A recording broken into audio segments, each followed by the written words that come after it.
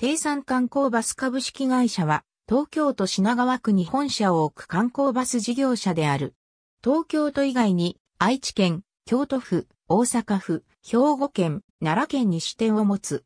グレーハウンド犬がかける姿のエンブレムと犬のマークの低産観光バスのキャッチフレーズで知られる。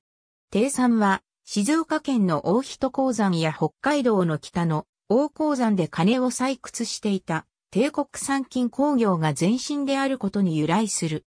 かつては関東自動車、日光観光バス、札幌観光バスなどと共に J コーチグループに加入していたが、2012年3月に離脱している。ウィラーグループ及び西日本 JR バスと高速路線バスにおける管理の受委託を結んでおり、多客機に両社が運行する路線の続行便を低産観光バスが運行する場合がある。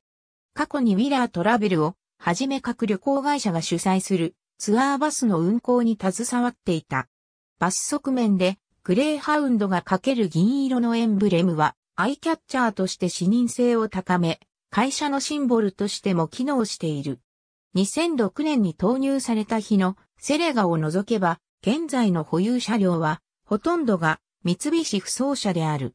かつては2階建て車も保有していたが、2017年にウィラーによる君の名はカフェバスの運行を受託し、三菱不走エアロキングのオープントップバスが配置されている。ありがとうございます。